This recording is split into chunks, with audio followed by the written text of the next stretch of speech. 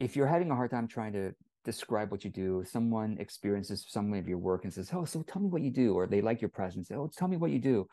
Yeah, I don't know. I, that's a good question. There's the illusion that you're supposed to have a well written elevator speech, elevator pitch that is memorized and it just comes out so flow and makes people go, let me give you my wallet. you know, like, let me tell all my friends about you. That was amazing. Let me record that and then share it with. Okay. So that's the fantasy. And the truth of the matter is that the best introduction, the best, okay, let me tell you what I do happens in the moment of relationship with the other person.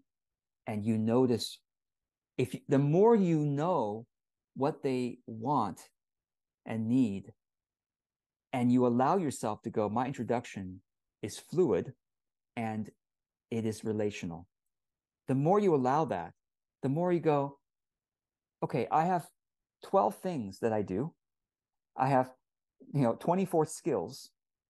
But to this person, I'm going to talk about thing number three and skill number seven and I'm not going to mention the rest because the elevator pitch idea, the typical idea of, oh, how do you describe yourself? Well, I memorized it now. Here's a piece of paper.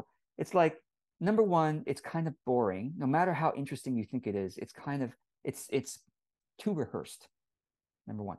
Number two, you are not tapping into the psychic understanding of that person at the moment uh, because when you are in relationship to someone you have certain intuitions about this is what they need to hear.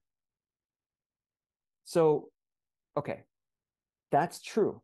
And At the same time, I said you have 12 things you do and 24 skills you have. Well, that you need to catalog that. okay. You need to catalog those. You probably don't have 12 and 24. Maybe you do. Okay. But most of us have like probably at least three things we do, right? Or we have, you know, I'm a life coach, but really I could serve retirees, I could serve teenagers, and I could serve people who are getting promoted to their next job what do you want me to say right? Like well which one are you closest to? I'm going to say that thing right? So catalog what problems you solve that people come to you for. So catalog the problems you solve that people come to you for. The yearnings you help people achieve. The goals the yearnings the projects you help them accomplish the dreams you help them fulfill. So problems as well as dreams you know yearnings and then also catalog your skills. These are the modalities I've studied. These are the things I'm certified in. These are the things I've studied. I'm passionate about it. And so once you catalog them, then it's kind of like, you know, it's kind of like Mad Lib. You fill in the blanks when you're talking to someone. You go, "Oh, I want to fill in with that that that problem. I'm going to fill in right there, and that yearning. I'm going to fill in right here. Am I talking to them on this skill?"